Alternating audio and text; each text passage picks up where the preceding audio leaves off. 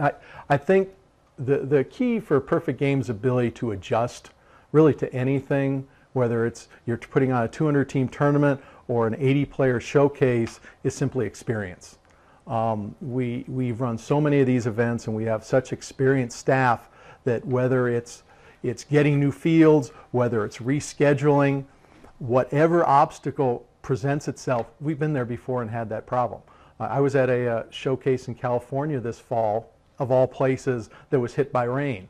And you know, we went out to the field on Saturday morning. The field was obviously not playable and it wasn't going to become playable. We already had a backup field figured out, so it was a matter of getting on the website, posting new schedules, making the phone calls, get to the new field, and we had a great showcase.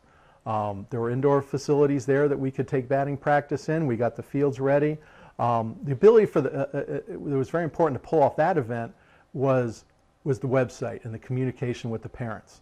And that's something that in a big tournament or a small showcase is so important that I think we really do well is the communication, whether it's via phone, whether it's via text, whether it's via the website, with the coaches and the parents. Because if the, if the coaches and the parents know what the changes are, they're going to make their changes. They're going to be able to do it. And as long as you make the effort, as Perfect Game does, to, to keep those lines of communication open and strong, you can pull off events where you get a little rain, you get a, something wrong with a field, you get something wrong with anything, you know, you'll be able to adjust.